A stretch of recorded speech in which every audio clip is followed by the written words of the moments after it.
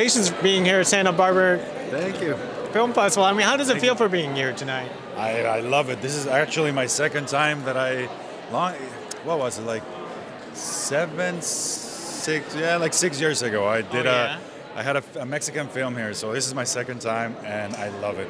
I love this festival because I don't know. It just feels like they're all about the movies first of all, and it's like intimate, small, but cool. They show they premiere like movies that you know that they they they they take risks, you know. So uh, I love it. I love it, and I love Santa Barbara. So Did, did is, is the movie that you partake in this time around? Or was it very risky?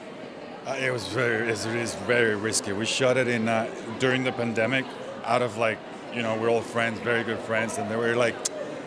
Uh, you know, there's nothing to do. Let's just shoot a movie, and uh, we came up with like the script in two weeks, and it was it's, such a small movie, but it came out so good, beautiful. I'm so proud of it. So, and it's very very risky because the tone of it and that director there, Santiago, was like a genius. So, um, I'm, I was very proud and happy.